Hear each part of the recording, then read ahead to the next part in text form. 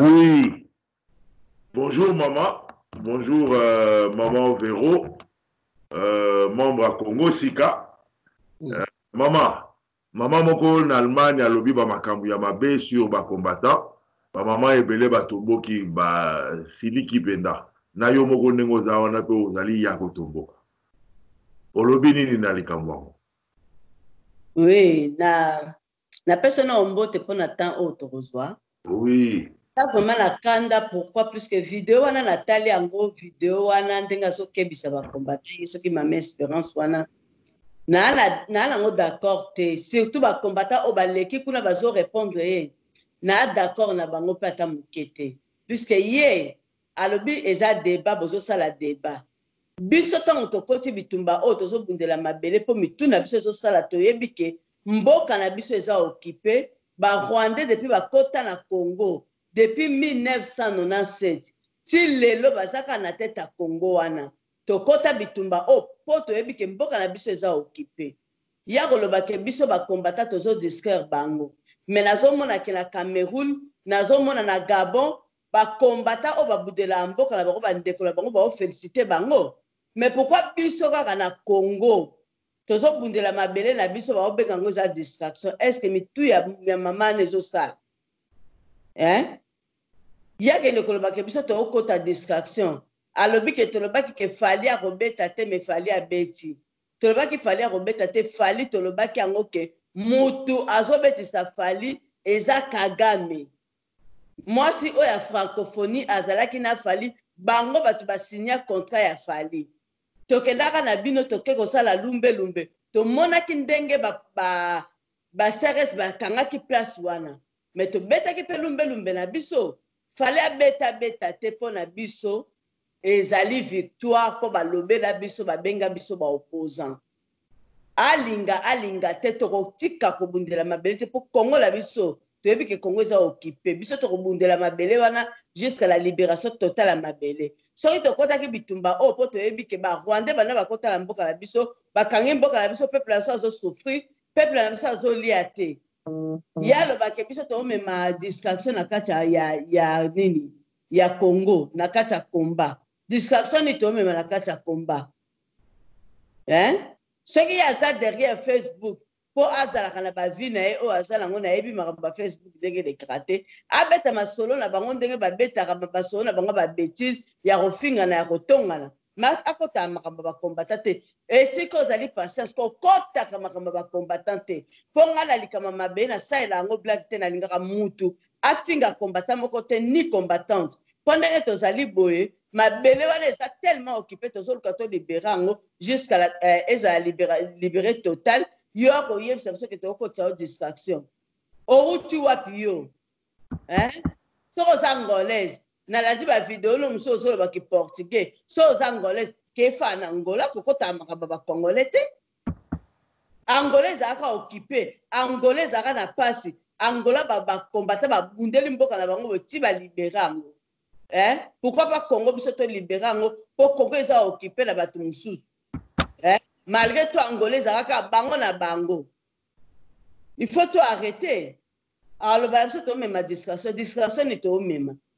komba oyo biso tozobunda mpo tolibere mabele wana ya kolobake tokotisa distraction distraction nini eh? epuis bakombata mpe bakoti bakoti mpe na émission yango bazorépondre ye na ndenge ya gentillesse be non nga so namonaki émission wana nakasani nga continue émission wana ta nga kata émission na ye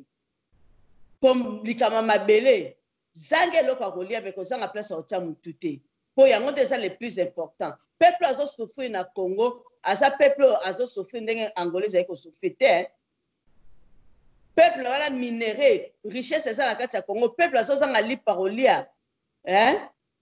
peuple wana azo lela butu moi peuple wana ba ndeko oyo baza na ba ndeko na poto te bazo vivre ndenge nini soki lipa ya te tobundela mabele te mpo ye alobi toomema distraction ah, mama patience soki si tozali na boko finga yo mpo nayeba nde bafingaka te me keba nayebisi yo kaka keba place ozali soki olingi tobebana te kokɔtaka likambo ya komba te salaka emission na oyo osalaka betaka bakijalelo na bino bobetaka soki bapesi yo mbongo na bato ya idps mpo luka olalisa combat olalisa combat te nayebisi yo esika ozali keba mpo place tokokutana na yo soki ozobetaka lisolo ya ba combattant okozwa suka na lumbe lumbe nakanisa okoleka su jamais na facebook te mpo toza gentil tolobeli yo keba ya deuxième fois allemagne eza kaka na nsima belgique awa okokamwa ndenge tokoka kozwa yo kuna lokola olobaki to viole barwandais tokoviole barwandais te tokobanda nao na yo mpo yo olingi okota distraction na kati ya combat alors keba na yo place ozali makambo ya bacongolais kokota yango te bacongolais kokotaka te tika na ngola nde kobetaka mba histoire no mosusu na kiportugais tika na, na, na kiportugais ozobeta kokotaka makambo na biso te po tolingi mutu moko awa disque biso na kati ya combat oyo te so tokotaka combat oyo tokota yango te po tosala bato plaisir eh. tokota yango po mboka na biso eza occupe eh. soki lelo oyo tozozala distance na bafamille bafamille mosusu toyokanaka te likoya makambo ya mabele alors keba na yo ingeta papa na nga ingeta ingeta mama ingeta Bokabwani, misusu balobi il faut moto na moto abunda na coin na ye, soki oza mutu ya ba equateur cote na bino, bandundu cote na bino, ba swahili, baluba cote na bino, yango mutu eza ko tourner ba jours oyo na kati ya combat, yango oyo tozoluka totelemelela yango mpena makasi parce que eza l'un de mibeko na kati ya combat oyo ezali interdit ya kosala mama yo mama olobi nini Mpo na ngai nakoloba eloko moko, Hyppolite Kanambe azolinga to a diviser biso mpo a regner longtemps na kati ya Congo. Nga ya koloba que toboyi tribalisme na kati ya combat po combat oyo tango tokendaka kobunda tosanganaka na ekolo nionso ba kongo, ba luba, ba swahili, ba ngala ekolo nionso neuf region oyo eza na kati ya congo tosanganaka na bango tobundaka bitumba. Makambo ya division na kati ya combat tolingi yango te soki oza na besoin ya division tika biso kende po biso toza na besoin tosangana tobunda bitumba oyo to libere congo. Po monguna aza na besoin to divise mutu na mutu azua partie na ye po ye atikala kaka wana occupation ekota ebota mikuwa peuple congolais ba boma bango ndenge bao pesa bango ba vaccin lokuta alors soki yo oyebi que oza na besoin divise combat tosengi yo bendana na yo malembe tika biso batu to bundela bosolo to continue ko buta bituba na biso po toboyi division na kati ya combat oyo. po biso ndenge toza na kati ya combat nga na lobaka na zairoise na congolaise naza na ngai na ekolo te soki yo olingi odivise po oza mokongo bunda na bakongo awa na combat oyo makambo ya bakongo eza te makambo ya bangala eza te baswahili eza te baluba eza te donc tozobunda na bomoko soki yo olingi odivise s'il vous plaît tosengi bino botika kobundela mabele bobima Na combat botikela bato ba na amour ya mabele babundela mabele na bango. Po biso tobanda tobotama nga nayebi tribalisme te. Na famille na nga toza na baluba toza na bakongo toza na bato bandu toza na ekolo nioso na famille na nga sikoyo bolingi na kabola bango en deux na benda cote mosusu po na kende na bango elingi koloba nini? ke tokata ba famille na biso basangana babotama na ba ekolo mosusu ndenge na kati ya congo ezali mpo muluba abala na mungala, mungala abala na muswahili, muswahili abala na mukongo, mukongo abali na muluba, sikoyo tokata bana wana oyo babotama? Mpo bino bolobi ke il faut tozala divise, esprit yango ewuteli bino wapi? Bozomona te ke bolie mbongo ya Felix? Mbongo ya Felix soki bolie yango eza mbongo ya Kabila? Bozoyeba yango te ke echangise bino langage? Oh bozonga sima ko, bozonga sima penza boyeba ke combat toza na besoin ya division te. combat oyo toza na besoin division te bozonga nsima bobenda bilili bozonga nsima oyo aza na besoin obunda alongwela biso tribalisme na kati ya combat tosengi bino pardon soki bolingi tribalisme bolongwa na combat bolanda felix comme ça toyebi ke boa ba vrai taliban po oyo aza taliban alingi kodivise bato biso oza besoin bataliban pembeni na biso te alors c'est maintenant bosala choix na bino soki bolingi tribalisme bolanda felix na kin bopesa ye maboko comme ça tango toko libere congo tododa bino nyonso kuna po a tona besoin division toyoka toyoka makambo ya mabe oyo ezolobama na kati ya, ya komba na biso komba mm. ya, ya bana ya, Ba ya ya bala Congo yoka ndenge batu bakomo loba yoka.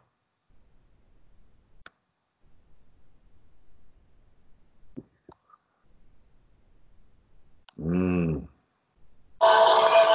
Bonjour, euh, namoni makambo ya ya combattant oyo akufi na France awa ayiki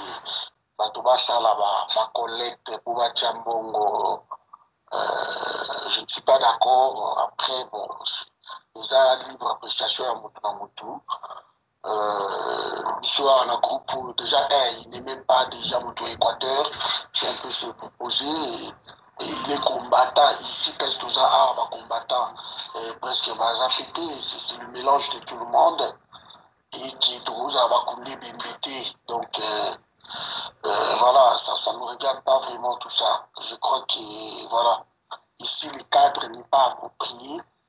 pona to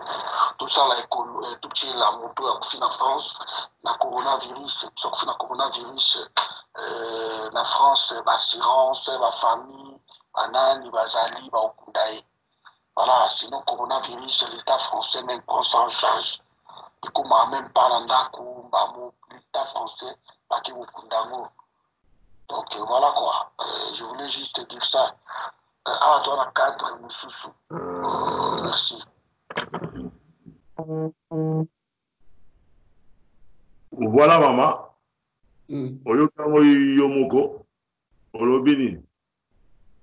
nga la nango d'accord te plus que combattant oyo akufaki combattant clay nayebi ye bien a combattant oyo ke tozalaka na ye tozalaki na ye na balumbe lumbe tozalaki na ye na ba France ba Belgique mpo na kotelemela moto lokola Felix ntango ayaki na koyoka kokabola biso na bangala ndenge wana na nango d'accord te en tout cas awa na combat ekolo eza te po mungongo wana nayebi yango en tout cas aza frère oyo na na lingaka mingi eloko moko na koloba na ne d'accord ata muke te puisque na combat soki alingi a divise a abos azala ke nga na ye tozala musika puisque nga akoki kondima te ke ekolo na nga lokola nga naza mungala na ko mukongo soki akufi na kozala te po aza mukongo est ce que na raisonner Naotanga kombo na yo. Patrick, est ce que o raisonner Fodja? O raisonner makambo oyo olobi? Est ce que ososoli yango d'abord? Otie yango mpe na groupe? Est ce que olingi okangisa biso obi o diviser? Wana o diviser totalement. Olobi ke Bangala cote na bango donc ekolo na ekolo ezala na cote na bango. Naa nao d'accord ata moke te. Naza na yo d'accord te puisque nga combat na bundaka naza congolaise naza zaïroise tozo bunda po congo ezala libere soki eza ke po bangala bazala libere là je suis desole na prefere bakata nga nde cote moko batia nga na ekolo mususu cote moko ekolo mususu po nga naza 100 pourcent zaïroise nabotami na tango ya zaïre mutu akoki ko divise nga aza te hein toboyi division na combat toboyi toboyi yango mpenza na nango d'accord te Patrick Efodja change luka o change sinon eya pasi mpo na yo eya pasi mpo na yo mpo ndenge ozo divise boye bitumba oyo eya malamu te nayebi te soko sosooli na ba Felix ou bien nini mais elobeli wana eya elobeli ya bato basi balie mbongo donc tosalaka attention na maloba na biso tozoloba ingeta papa na ngai ingeta mama Liloba ya suka soki okolobela susu oyo maman oyo bapesi mbongo kuna na Allemagne mpo na asala ba publication ya mabe na komba uh, ya komba na biso e conseil mm. nini okoki kopesa bandeko mm. oyo bakotaka na ba uh, emission na ye soki nakobenga yango nini babiloko asalaka na Facebook Nayebi te soki yo ko loba nini. Nga na koloba eloko moko mutu oyo vraiment aza combattant combattante resistant resistante oyo ayebi pourquoi akoti combat azo bundela combat na ye place ya distraction eza place na yo te place oyo ke ba betise ezo lobama Et puis bao finga bino bazo kitisa bino bofandi pe nie boyebi eloko ya ko repondre te eza pasi pona bino bo kotaka ba emission ya bongo te eza lokola bopesi maboko epa Felix boko kota epa Felix bo kotaka ba emission ya bongo te vrai compatriote oyo azo budela mabele tikala na ba emission ya ba combattant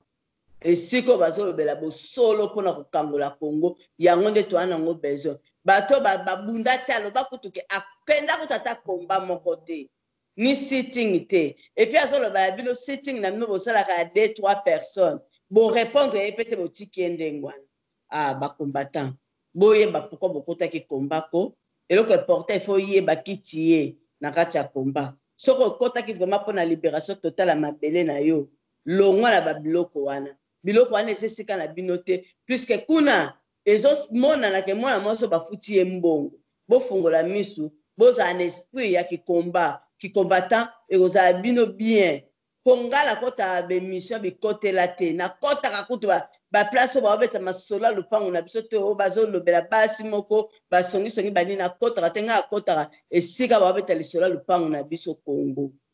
oyo ke ezo telemisa likambo ke peuple congolais esika azali azwa conscience abima mpo to libere mboka esika wana nazalaka donc bandeko na ngai bozala na esika oyo babeta lisolo ya lopango na biso congo esika babeta bamasolo na bango ya babetise na bango ya kokanga bamitakala limbisanga papa na ngai ya basi ya kofingana ya kotongana ya kobeta bamasolo moko ezanga sens na kati ya facebook na kati ya ba emission moko ezangi tina bolongwa na ba eloko wana po sino bokobungisa combat na bino botika na lokolo na bino nionso mibale na kati ya combat bobimisa moko te botika moko te sino toko rejete bino donc bozala na kati ya combat eloko tolingi yango wana boyebaka mpe bakestion baopose bino reponse ya kopesa mpo likambo ya mabele yango eleki Luambo alobaki soki mutu aye azo lula mabele na yo tuna ye awuti wapi aye koluka richesse ya sa mabele donc il faut eteya biso toyeba luambo nanu occupation ekotaki te mais ayembaki yango donc tozala batu oyo tozo raisonner toyeba pourquoi tokoti bitumba pourquoi tozo bundela mabele sinon ekozala pasi pona bino soki bozo kota na b'emission oyo bazo loba n'importe quoi ba djalelo tozobundela mutu te tozobundela mabele na biso zamba congo na ebale ya congo na peuple congolais wana ifo tozalaka nango na mutu toyebaka ke yango nde tozobundela totika kokota bikotela mpo eza mpo na biso te ingeta papa na ngai ingeta mama toyoki yo na elengi ya koyoka yo eh, ingeta mama merci ingeta. Merci message Eleki pena très très très très très bien. Ingeta. Ingeta.